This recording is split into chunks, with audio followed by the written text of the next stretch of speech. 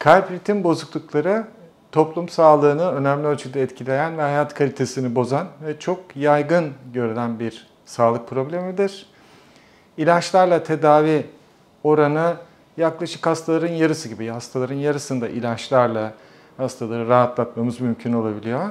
Yeni teknolojiler bu alanda da kendini gösterdi ve elektrofizyoloji ve kateter ablasyon denen bir yöntemle 3 boyutlu haritalama yöntemlerini de birlikte kullanarak şekilde gördüğünüz gibi kalbin elektriksel ileti haritasını çıkarıp ritim bozukluğunu kalıcı bir şekilde ortadan kaldırmak mümkün olabiliyor.